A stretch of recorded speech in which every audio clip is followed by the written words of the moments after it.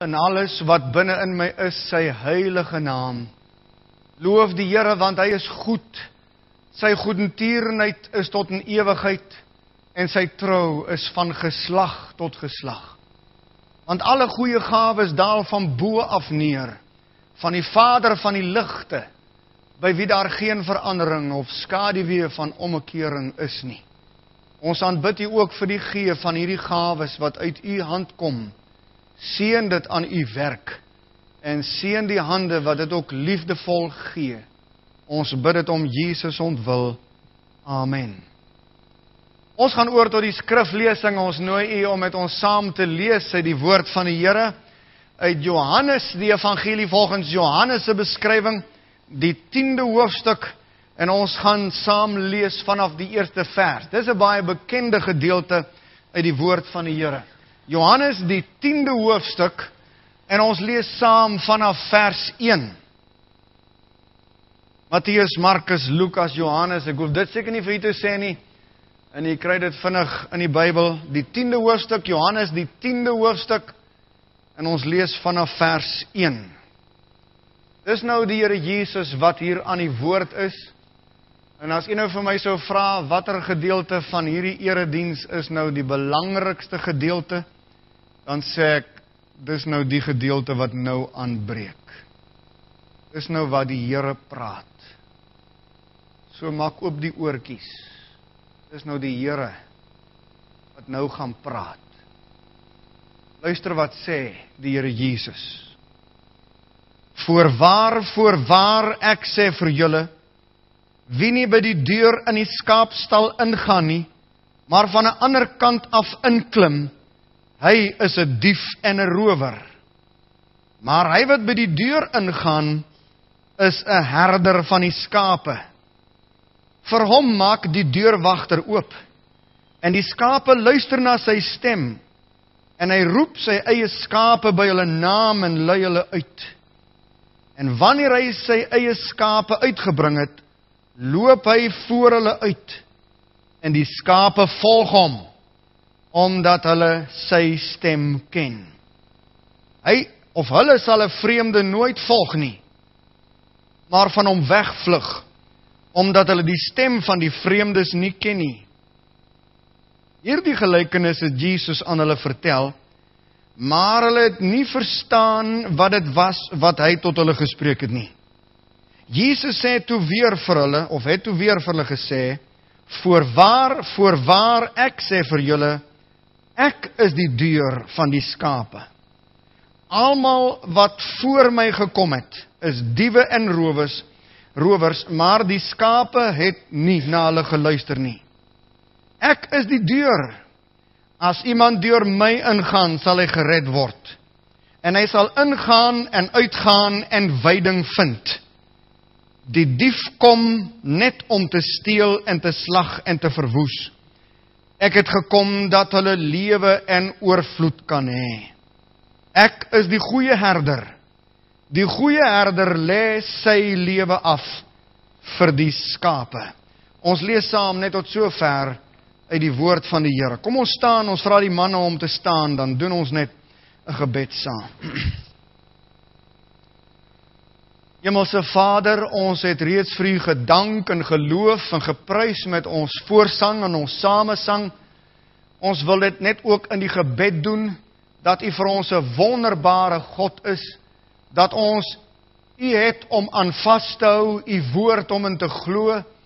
En Here, baie dankie vir die anker wat dit vir ons is in hierdie sinnelose, goddelose, onsekere, onveilige wêreld. Dankie vir u Here Jesus. Dankie dat u lewe, dankie dat u vanmôre hier is. In ons midde is dat u die bron van ware lewe is.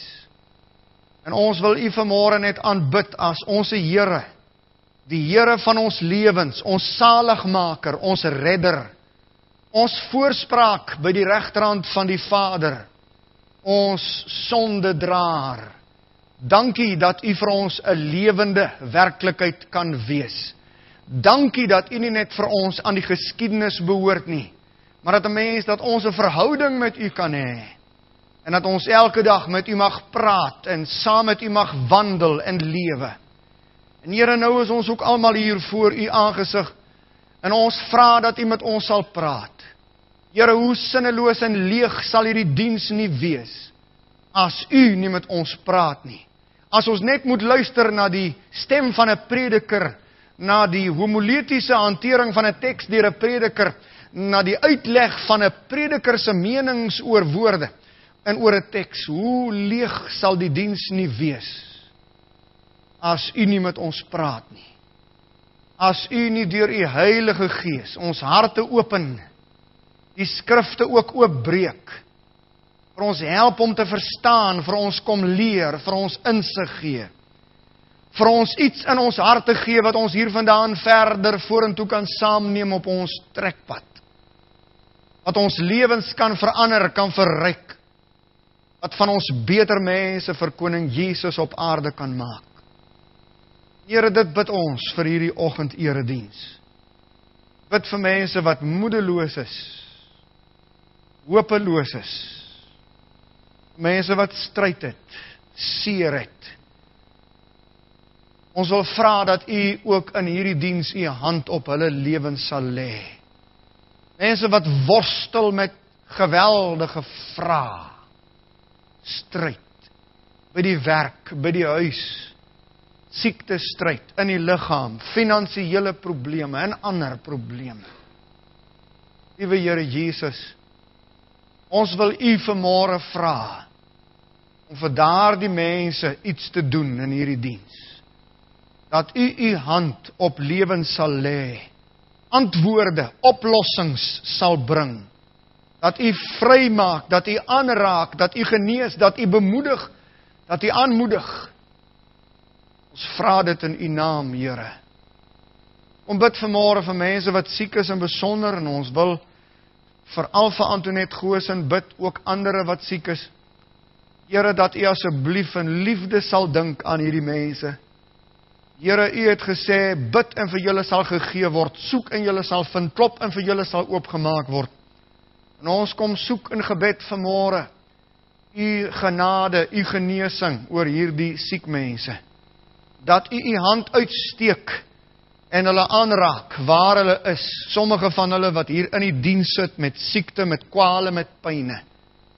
Dat u kragtens u kruis dood deur die wonde van Jesus waardeur daar vir ons genesing gekom het.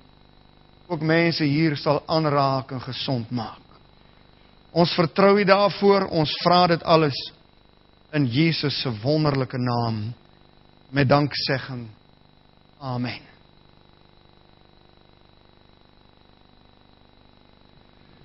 Nou liewe broeders en susters, geagte vriende, ek wil vanmôre met julle praat oor hierdie baie bekende vers in Johannes die 10de hoofstuk, die 10de versie waar die Here Jesus sê ek het gekom dat julle lewe en oorvloed kan hê. 'n Mens se tong is in werklikheid onbekwaam om die rykdom en die volheid wat daar in die Here Jesus Christus is na regte te beskrywe en te omskrywe. Ek kan die Here Jesus vergelyk met die wolke van die hemel wat in staat is om reën oor 'n dorre aarde uit te stort en die natuur se behoeftes ten volle te bevredig. Ek kan die Here Jesus vergelyk met 'n baie groot opgaardam. Baie groter as Hartbeespoortdam of die Verwoerdam, hy het seker nou 'n ander naam, die grootste dam in Suid-Afrika. En wat in staat is om deur sy kanale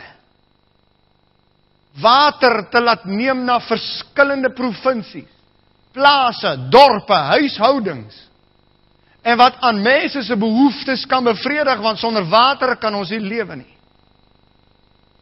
Jesus. Ek het gekom dat julle lewe en oorvloed kan hê. Ek kan die Here Jesus vergelyk met 'n met 'n groot kragopwekstasie. 'n Turbine wat krag opwek. En van daar af deur kraglyne wat oor die hele Suid-Afrika loop. Elektriese krag voorsien aan almal wat dit nodig het. Huishoudings, besighede, kerke, soos ons vanmôre ook hier het. So is die Here Jesus die oorsprong. Hy is die bron van alle geestelike seëninge in die hemele. En my mond is onbekwaam en jou verstand ook onbekwaam om ten volle die rykdom, die wyte, die diepte, die hoogte van sy seëninge na regte te bedink. Ons kan dit nie doen nie. Maar hy het in elk geval gesê ek het gekom dat julle lewe en oorvloed kan hê. En ek wil vanmôre met julle praat oor hierdie tema 'n lewe van oorvloed. 'n Lewe van oorvloed. En dan veral op drie terreine. Ek meen ek wil maar net hierdie oorvloed beperk by drie terreine. Daar is baie terreine waarop ons lewe in oorvloed kan hê, maar eerstens net geestelik. 'n Lewe van oorvloed geestelik. Maar ook tweedens 'n lewe van oorvloed liggaamlik. Fisies. Maar derdens ook 'n lewe van oorvloed finansiëel. En ek wil maar net oor hierdie drie terreine, daar's baie meer. Net oor hierdie drie terreine vanmôre met u praat. Ek sê Jesus het gekom dat jy op hierdie drie terreine 'n lewe van oorvloed kan hê. Glo jy dit? Hy wat tot God gaan sê Hebreërs moet glo dat hy is en 'n beloner is van die wat hom soek. Want die mens wat twyfel sê Jakobus, moenie dink dat hy iets van die Here sal ontvang nie. Geloof is daai hand wat uitgesteek word om dit wat die Here Jesus vir my bied proef ondervindinglik my eiendom te maak. Glo jy dit? Dat Jesus ook vir jou gekom het dat jy lewe en oorvloed kan hê. Kom ons begin by hierdie drie terreine. 'n Lewe van oorvloed op geestelike gebied. Jesus sê ek het gekom dat jy lewe kan hê. Lewe in oorvloed. Nou ek wil nie baie tyd hier aan spandeer nie, maar ek wil sê die Here Jesus het gekom sodat 'n mens ewige lewe kan hê. En luister, as jy nog nie die ewige lewe het nie, dan is jy liggaamlik dood. Verstaan jy my nou reg? Dan bestaan jy nog net, jy leef nog nie. En baie mense bestaan net. Hulle leef nog nie. Dis eers wanneer jy ewige lewe in jou hart ontvang. Dis eers wanneer die Here Jesus jou as 'n sondaar uit genade red en jy jou hart vir hom oopmaak met berou en belydenis van jou sonde, hom aanneem as jou verlosser en jou saligmaker en omdraai op jou sondige pad en hom aanneem om om dien op jou lewenspad vorentoe, dan gee hy vir jou ewige lewe. Dis wonderlike lewe. Dis lewe wat nooit kan eindig nie. En dit het twee dimensies. Dit begin al in hierdie lewe. Jy kan ewige lewe in hierdie lewe hê en selfs na hierdie lewe kan jy nog ewige lewe in hiernamaals hê. Want hy wat in my glo, Jesus gesê, sal lewe al het hy ook gesterwe. En dit op sigself is moeilik om in woorde te beskryf, die seën, die rykdom van lewe wat nooit vernietig kan word nie. En dat ons in hierdie kort lewetjie op aarde maar net in die voorportaal lewe van die eintlike lewe wat kom in die hiernamaals. Jesus het gekom om vir jou ewige lewe te gee. Lewe te gee, geestelike rykdom te gee. Maar ek wil hê moet 'n bietjie kyk na hierdie vers in Efesiërs 1 vers 3 waar die Bybel sê Geseënd is die God en Vader van ons Here Jesus Christus wat ons geseën het met hoeveel geestelike seënings? Met alle geestelike seënings in die hemele in Christus. Christus is die bron van hierdie seënings. Alle geestelike seënings. Luister, daar is geen geestelike seën waaraan jy kan dink wat nie tot jou beskikking is nie, want dit is in die Here Jesus Christus en God seën ons in Jesus met 'n groot rykdom van alle geestelike seënings. Jy hoef nie aan iets geestelik tekort te gaan nie. Jy hoef nie aan iets arm te wees nie. Jy hoef nie geestelik gebrek te ly nie, want God het jou geseën in Christus met alle geestelike seënings. Kyk 'n bietjie wat sê hierdie vers in 2 Petrus 1 vers 3. Immers sy goddelike krag het hy ons alles geskenk wat tot die lewe in God se vrug dien. Deur die kennis van hom dis Jesus wat ons geroep het deur sy heerlikheid en deeg en hierdie teks sê God het dit reeds geskenk. Alle alles wat tot die lewe in God se vrug dien. Daar waar jy werk in die kantoor in die bank op die plaas in jou beroep daar waar jy besig is alles wat jy nodig het om om godsvrugtig te lewe om tot eer van die Here te lewe het God vir jou geskenk. Daardie seënings is reeds in Christus vir jou beskikbaar. Maar dit net deur die geloof my eiendom maak. Alles geskenk wat tot die lewe in Godsvrug dien. Alles wat ek nodig het, om tot eer van die Here elke dag te lewe, om geestelik oorwinnend, vrugbaar te lewe. Alles wat ek nodig het is in Christus. Hy het gekom dat ons lewe in oorvloed kan hê. En ek kan alles wat ek geestelik nodig het vir my geestelike lewe by hom kry. Jy kan dit nou kry, jy kan dit vanmôre kry.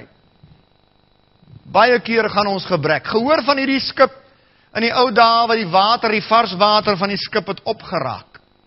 En hulle het op die see gevaar en het geen drinkwater meer gehad. Die reën het weggebly, kon nie reën opvang nie. En toe het hulle boodskappe laat uitsy na skepe in die omgewing. En hulle gesê ons het 'n tekort aan water, kan julle vir ons asseblief water bring? En hulle die posisie van hierdie skip aangevra. En toe kom hulle agter maar hierdie skip is besig om reg oor 'n riviermonding te vaar. Diep in die see, maar reg oor 'n riviermonding. En hierdie rivier stoot die vars water baie diep in die see en eintlik is hulle op vars water en hulle het dit nie geweet nie. En toe laat weet een van die skepe vir hulle, laat sak julle emmers en trek die water op julle vaar op vars water. My vriende, baie keer het ons tekort En al wat ons moet doen is laat sakkie emmers en drink. Geestelik het ons tekort, maar in Christus in sy rykdom in hierdie groot opgaardam by wyse van spreuke van Jesus Christus is alle geestelike seënings wat jy nodig het. Daar is 'n lewe van oorvloed vir jou, alles wat jy nodig het in hom.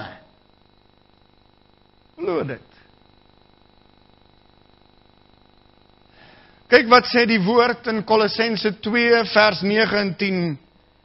Want in hom in Jesus woon die volheid van die godheid liggaamlik in die 10de vers sê en julle het die volheid in hom wat die hoof is van alle owerhede, owerheid en mag.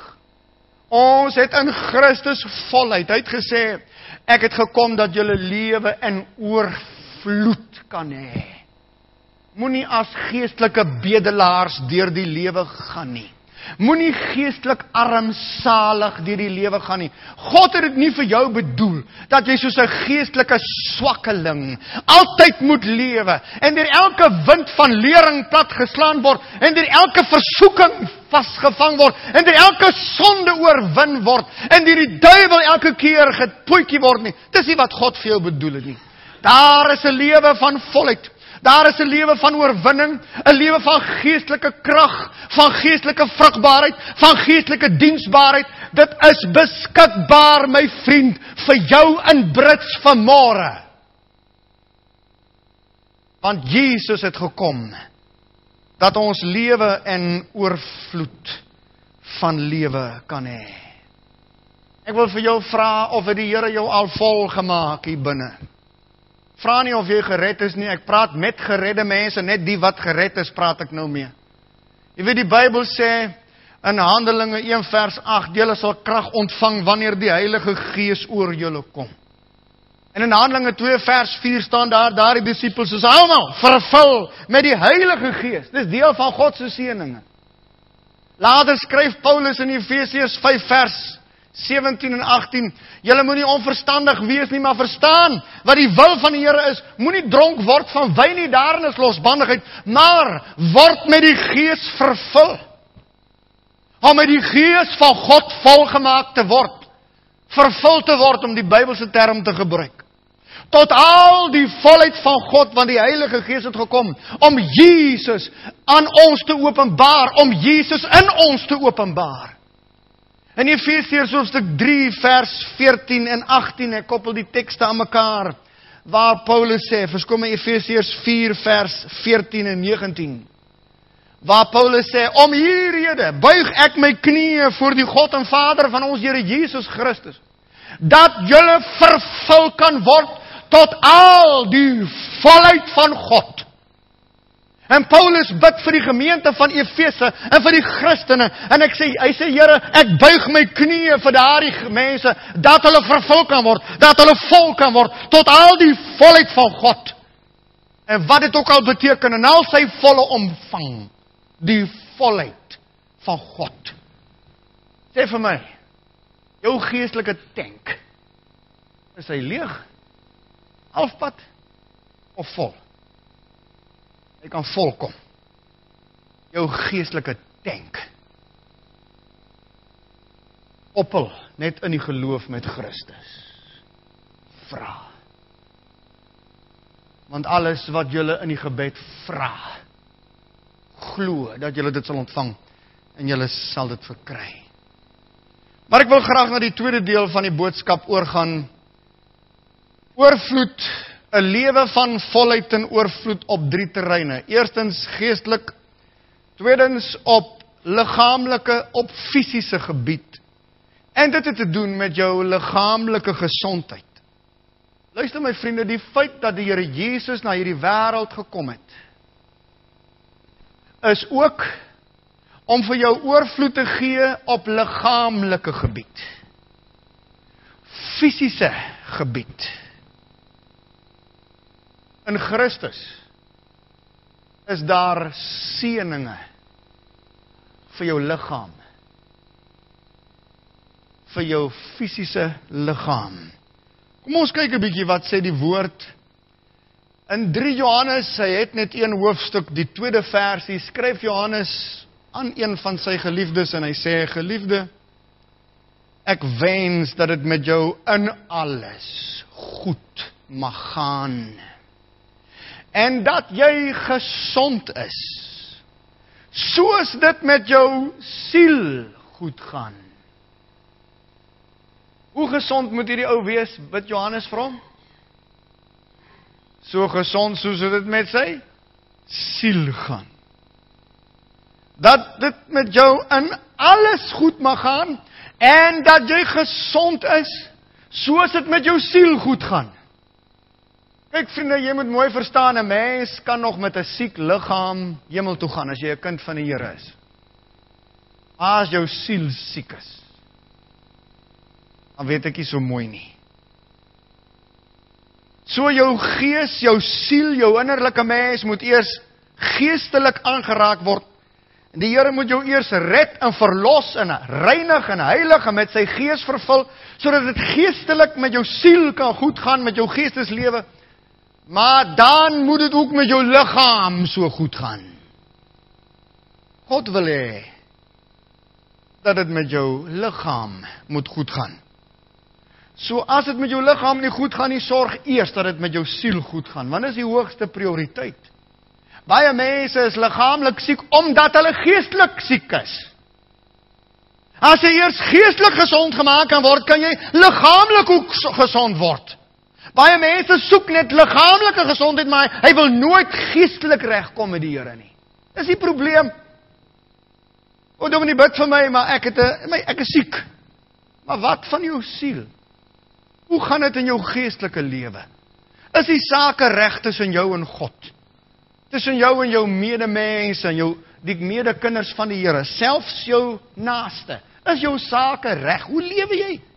Hoe kan 'n mens bid vir jou liggaamlike gesondheid, maar jou jou geestelike lewe is krank, daar's allerlei wrokke en aksies en onvergewensgesindheid daar binne. Daar's allerlei haat en nait en jaloersheid en twis en tweedrag daar binne, maar my liggaam wil ek nou gesond hê. Nee, die teks sê dat dit met jou liggaam goed gaan soos met jou siel. Dat jy gesond is soos dit met jou siel goed gaan. Maar nou wil ek nie op die siel fokus nou nie in hierdie punt ek het reeds op gefokus die geestelike lewe. God het Jesus het gekom dat ons lewe in oorvloed kan hê, nie net geestelik nie dat ons gesond kan word geestelik, maar dat ons ook liggaamlik gesond kan word. Kyk 'n bietjie hoe openbaar die Here God hom in die Ou Testament aan die volk Israel. Dit was by Mara, die fontein wat bitter was en waar hulle toe die hout ingegooi het en toe word die water soet. Daarna sê die Here hierdie woorde vir Moses en die volk Israel, Eksodus 15 vers 26.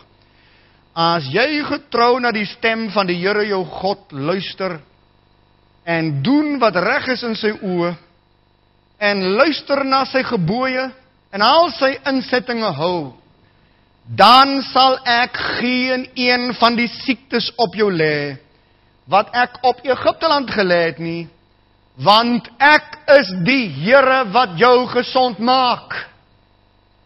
En let op in die ou Afrikaanse vertaling kry jy die hoofletters Here. En oral waar jy in die ou Afrikaanse vertaling in die Ou Testament daardie letters in hoofletters almal lees moet jy weet daar staan iets spesifieks Dit het te doen met die verbondsname van God. En daar is omtrent 19 verbondsname wat die Here het. En in die Hebreëus word dit uitgespreek as Jahwe of Jehovah. En hier spesifiek in die Hebreëus staan die Here wat jou gesond maak. Jahwe Rafa. Dis 'n verbondsnaam. In God se verbondsnaam en is die heel eerste keer dat God hom aan die volk Israel en aan Moses openbaar as Yahweh Rafa. Nog nooit tevore het hy dit aan enigiemand openbaar nie. Hulle was die heel eerste mense. En daar in die begin van die Bybel kry ons dat God hom aan mense openbaar as die Here wat gesond maak. Ek is die Here, Yahweh Rafa. Ek is die Here wat gesond maak. Jy sien die God wat ons aanbid, vriende, is 'n God wat mense gesond kan maak en wat hulle gesond wil maak. Kyk 'n bietjie na die bekende verse in Jesaja 53 vers 4 en 5. Kyk 'n bietjie mooi dat dit met Jesus te doen. Ons sal nou nog dit bevestig. In Jesaja 53 vers 4 staan daar: "Nogtans het hy, hoofletter dis Jesus, ons krankhede op hom geneem."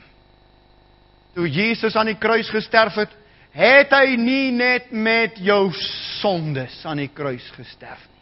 Wat het hy nog gedra? Ons krankhede, alle siekte. Hy het die wêreld, die mensdom se siekte ook gedra.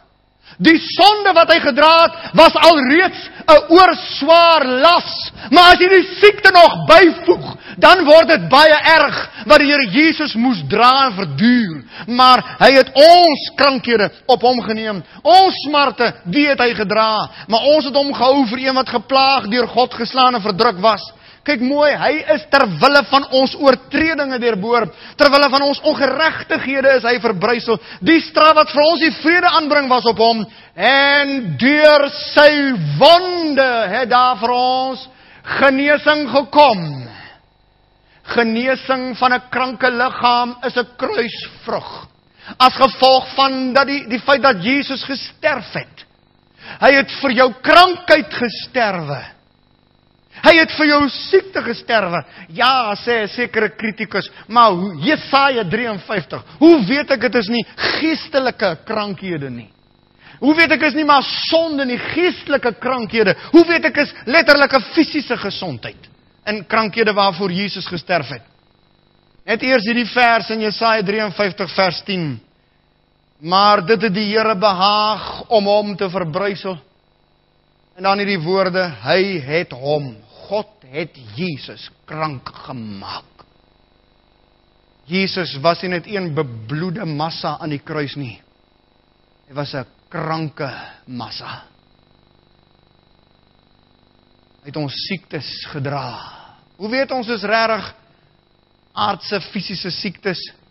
In Matteus 8 vers 16 en 17 lees ons hierdie woorde. En toe dit aand geword het, het hulle baie na hom gebring wat van duiwels besete was. En hy het die geeste met 'n woord uitgedrywe en hoor nou. En almal wat ongesteld was, het hy dus Jesus gesond gemaak, vers 17, sodat vervul sou word wat gespreek is deur Jesaja die profeet toe hy gesê het hy het ons krankhede op hom geneem en ons siekte gedra. En hier in die Nuwe Testament word bevestig dat die krankhede waarvan Jesaja 53 praat, is siektes. En hier word na Jesus verwys so Jesaja 53 praat van die Here Jesus. Hy het ons krankhede gedra. Hy het gekom dat ons lewe in oorvloed van lewe kan hê. Petrus sê dit ook so in 1 Petrus 2 vers 24 wat self ons sondes in sy liggaam op die kruishout gedra het sodat ons die sondes kan afsterwe en vir die geregtigheid lewe. En dan die woorde deur wie se wonde julle genees is. Daar is genesing by Jesus. Lewe in oorvloed vir my liggaam. Daar is genesing vir my liggaam by die Here Jesus Christus. Dis waarom Jakobus so skryf in Jakobus 5 vers 14 en 15. Is daar iemand siek onder julle? Laat hom die ouderlinge van die gemeente inroep. En laat hulle oor hom bid nadat hulle hom in die naam van die Here met olie gesalf het. Die gebed van die geloof sal die kranke red. En die Here sal hom oprig. Selfs as hy sonde gedoen het sal dit hom vergewe word. Ek wil nie vanmôre praat oor die verband tussen krankheid, siekte en sonde nie, daar is 'n verband. Maar hier sê die Bybel, God maak mense gesond. Hoe moet 'n sieke nou maak as hy siek is? Ja, hy kan die geneesheere kontak as niks meer verkeerd nie. En hierdie salf met olie, soos ons hiervan lees, het ook te doen met medikasie. Mens kan medikasie gebruik. Ja. Weet jy wat? Jy kan ook die ouderlinge van die gemeente inroep. En hulle kan jou salf met olie en bid met handoplegging. En vir die Here vra om jou liggaam gesond te maak. Want Jesus het nie net vir jou siel gekom nie en gesterf nie, ook vir jou liggaam. En jy kan 'n gesonde liggaam ook hê. Seën van die Here op my fisiese liggaam. Lewe van oorvloed. Het jy nou daal gedaan gedink as al die soldate van Jesus se weermag siek moes wees? Hoe sou hulle die werk van die Here kon doen op aarde? Here wil nie hê die soldate in sy weermag, sy kindertjies siek wees nie. Want hy wil Ja, hulle moet vir hom arbei. Hoe kan ek werk as ek siek is? Ek moet vir hom uitstaan, ek moet vir hom getuig, ek moet die evangelie verkondig, ek moet die koninkryk help uitbrei. Hoe kan ek dit doen as ek siek is? Die Here wil my seën op liggaamlike gebied. Maar ek wil die derde en die laaste gedagte met u deel. Op drie terreine: lewe en oorvloed van lewe en die derde terrein is oorvloed op finansiële gebied.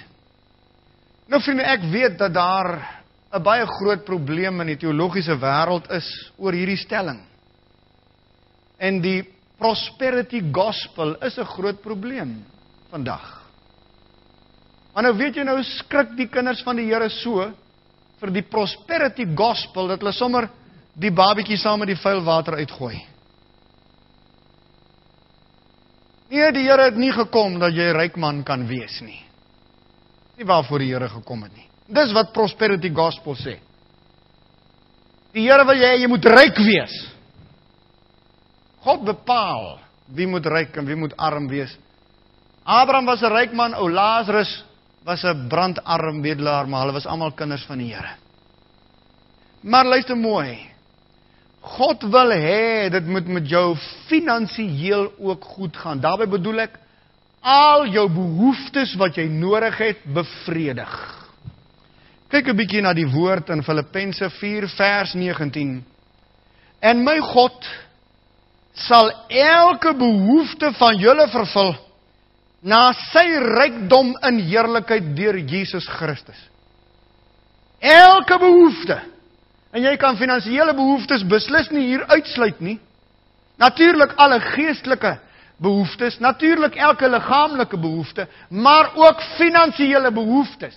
Want as jy na die konteks van Filippense 4 kyk, dan praat Paulus met hierdie Filippense gemeente wat finansies gegee het vir die sendingwerk en evangelisasie. Hulle het geld gestuur sodat die evangelie versprei kan word. En omdat hulle geld gestuur het, sê Paulus vir hulle, En omdat julle nou geld gestuur het, sal God ook aan elke behoefte wat julle mag hê en dit het beslis betrekking op finansies. Op elke behoefte wat julle mag hê, sal die Here vir julle voorsien.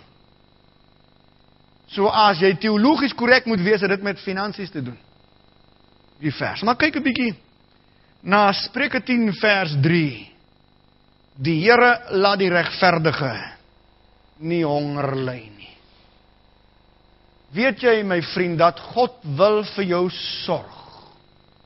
Kyk na die swaalkies, die mossies, die lelie van die veld het Jesus vir sy disippels gesê. Hy sê self Salomo met al sy rykdom het homself nie so mooi kon aantrek soos wat God die blomme van die veld, die lelies aantrek nie. En God wil so vir jou sorg. Hy wil alles voorsien. Jy hoef nie honger te gaan slaap as jy 'n kind van God is nie. Paulus sê ehm um, ek het nooit of is dit nou die psalmis wat sê ek het nog nooit die regverdige honger gesien of dat hy broodsgebrek het nie. Kyk na die voëls van die hemel. Hulle saai nie, hulle maai nie, hulle bring nie bymekaar in skure nie. Tog voed God hulle. Hoeveel te meer vir julle klein gelowiges, het die Here Jesus gesê. In Spreuke 3 vers 9 staan daar: Vereer die Here uit jou goed en uit die eerstelinge van jou inkomste. Die eerste deel van jou inkomste, die 10de, ons sal nou daarvan praat. Vereer die Here uit jou goed en uit die eerstelinge van jou inkomste. Dan sal jou skure vol word van oorvloed en jou parskuipe oorloop van mos. Ons het nou hierdie teks al hier op die bord gehad 2 Korintiërs 9 vers 8. God het mag. Let op net daai woorde God het mag om alle genade oorvloedig oor julle te laat wees sodat julle altyd in alle opsigte oorvloed kan hê. Volop kan hê en oorvloedig kan wees tot elke goeie werk vers 11 sodat julle in alles ryk kan word tot alle mildadigheid wat danksegging aan God deur ons bewerk. En lees maar daai 2 Korintiërs 8 9 2 Korintiërs 9 gaan oor finansies. Gaan oor geld. God het mag vir jou te sorg. Om alle genade oorvloedig oor jou te laat wees. Sodat jy in staat kan wees tot alle goeie werke wat 'n mens moet doen. Hier is die teks van die tiendes. Kyk 'n bietjie wat sê die Here. Bring die hele tiende. Nie net 'n deeltjie daarvan nie. Het jy al jou tiende mooi uitgewerk, my vriend? Baie maklik. As jy R100 kry, tiende daarvan is R10. Jy R1000 kry, tiende daarvan is R100. As jy 10000 rand verdien, weet jy wat se tiende? 1000 rand. Bring die hele tiende na die skathuis sodat daar spys in my huis kan wees. En beproef my sê die Here beproef my tog hierin sê die Here van die leerskare. Of ek vir julle nie die vensters van die hemel sal oopmaak en oor julle 'n oorvloedige seën sal uitstort nie Ek sal ook wat tydelike dinge aanbetref die springkaan vir julle afweer sodat die opbrengs van julle grond nie sal verwoes nie. Ook die wynstok op die land sal vir julle nie onvrugbaar wees nie, sê die Here van die leerskare. God beloof geestelike seën vir hulle wat tiendes gee, maar God beloof ook tydelike seën tydelike finansiële seën, voorspoed in jou besigheid, jou lande, jou oeste en al die sprinkane, al die uh, al die peste wat onder die gesaaides kan inkom, sê die Bybel. God sal dit van jou af van jou afweer. Dat hy vir jou oorvloedig sal kan seën. Ek wil hê jy moet die Here daarvan daarvoor glo, my vriend. Maar jy moet doen wat hy sê. Bring die tiende van jou inkomste na die Here en vir die Here se werk op aarde. En ek is nie besig om geld te bedel nie. Luister, ek bedel nie vir die Here nie.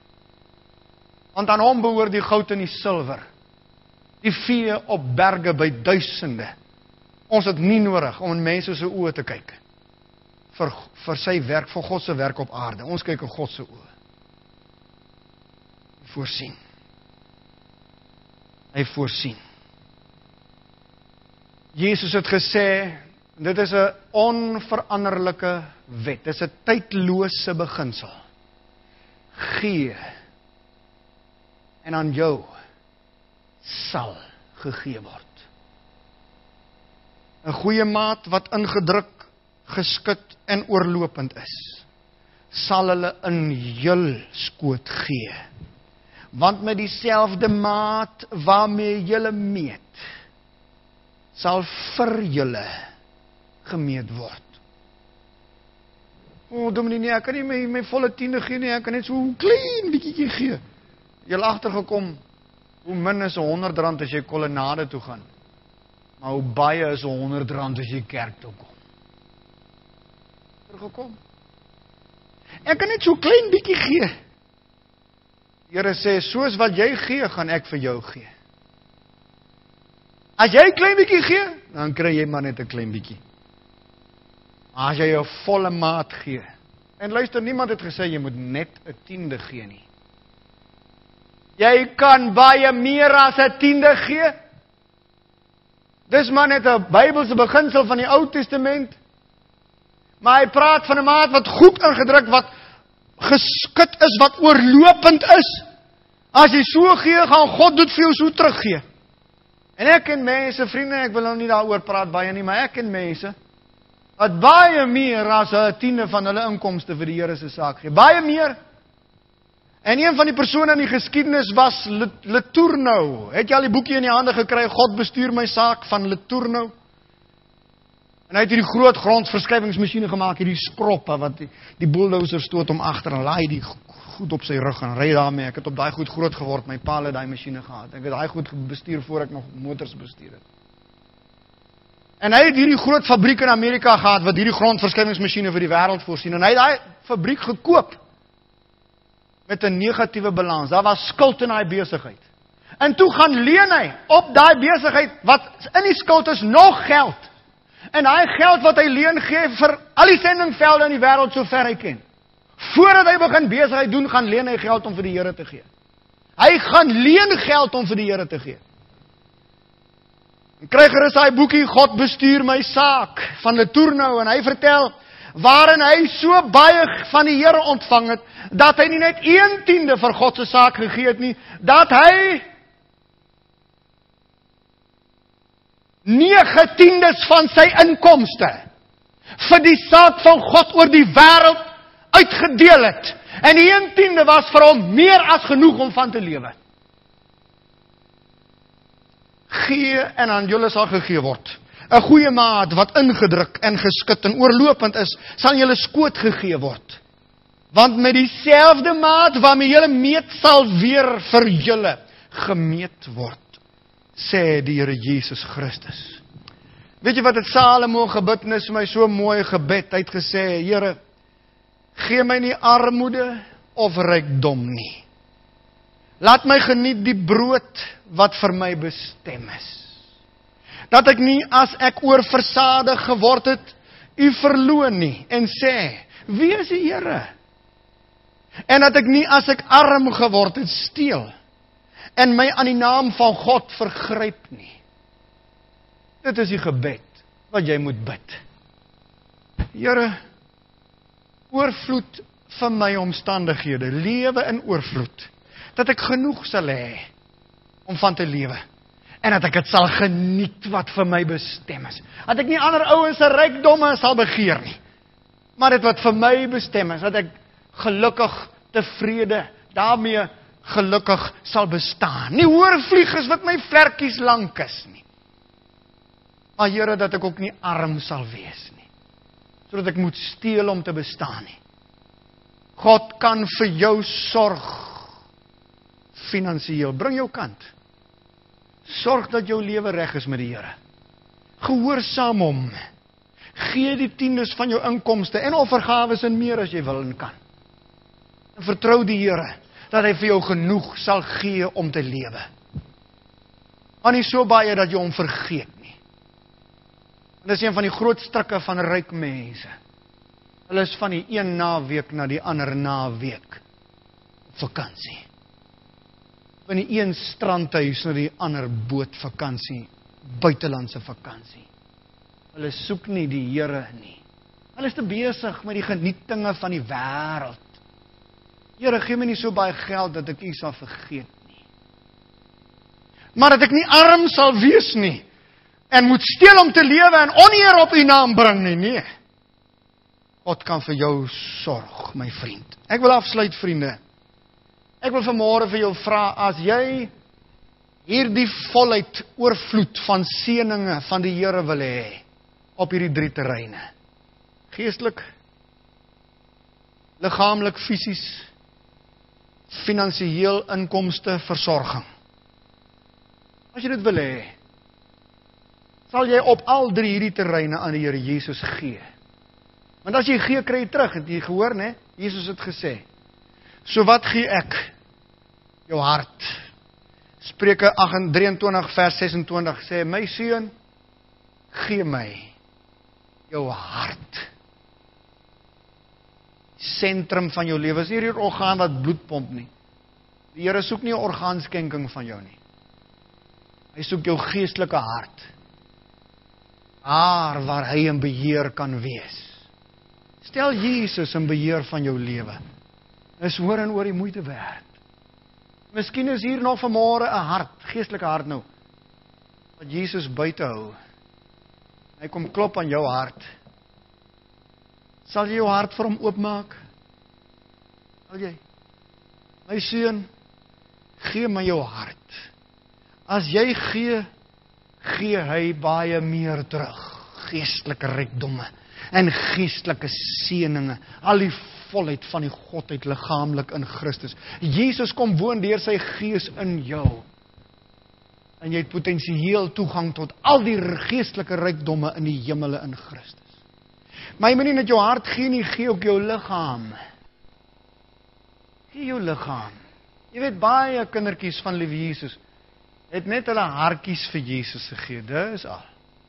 Maar hulle liggame ja, hulle beheer dit nog self. Dit is nog hulle sin.